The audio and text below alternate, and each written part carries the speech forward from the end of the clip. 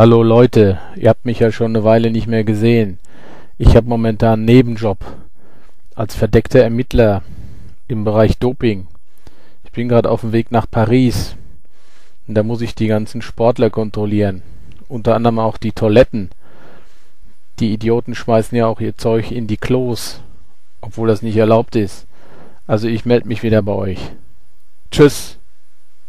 Verehrte Zuschauer, Sie sehen einen Beitrag der PTV Personalberatung Team verreckt